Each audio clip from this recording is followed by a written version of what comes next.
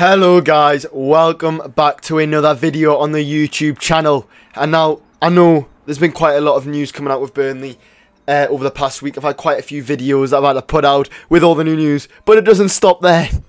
Burnley are planning a raid for two of the Premier League's most bright youngsters from the top six. First up, the first man in that duo, Manchester City's Liam Delap.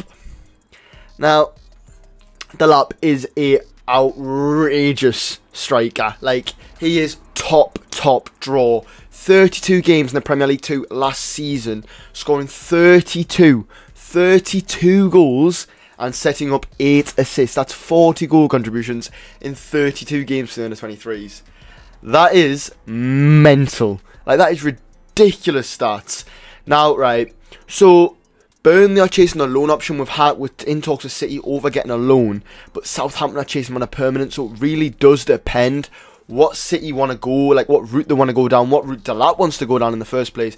If he wants to come back to City, try fight to get in the in the um, in the first team squad, or if he wants to go to a new a new venue, like wants to go and explore at the um wants to go and explore at Southampton and push on with his career there. Um, but if we do sign him, that is going to be phenomenal. Easily 15 goals in the championship. Him with Scott Twine, it's going to be absolutely outrageous. He's honestly top, top quality. Uh, and yeah, he's already got to his name. He's already got. Um, just count the trophies. I've got them up here.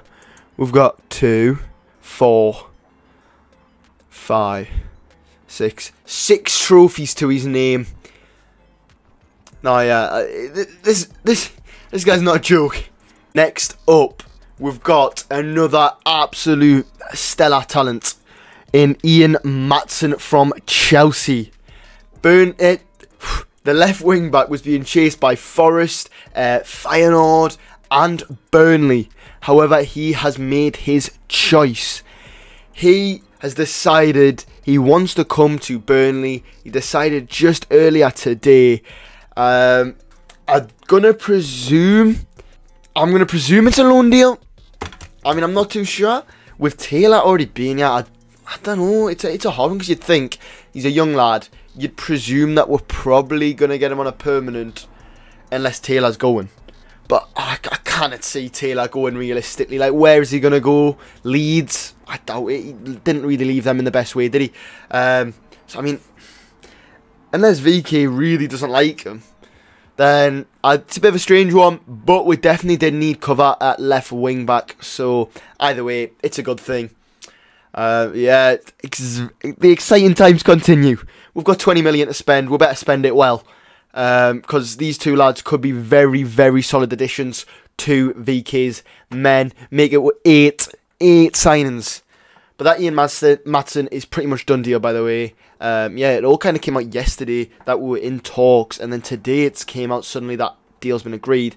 He was on loan at Coventry last season, and he was um, oh, he was quality, small lad, but very, very, very fast. So yeah, the exciting times do continue even though we had a bit of a, a bit of an upset yesterday with Nathan Collins leaving, it, it, we're picking it back up. So if you did enjoy, feel free to like and subscribe, and I'll see you guys in the next one. Peace.